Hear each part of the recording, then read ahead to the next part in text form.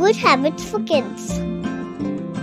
Good habits can help you make healthy, wealthy, and wise.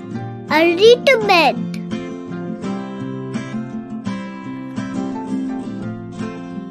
Early to rise.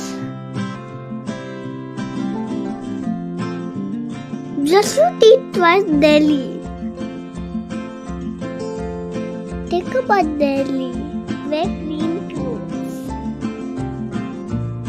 Go school daily. Eat healthy food. To comb your hair twice daily. Share your things.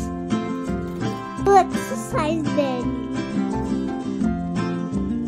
Respect everyone.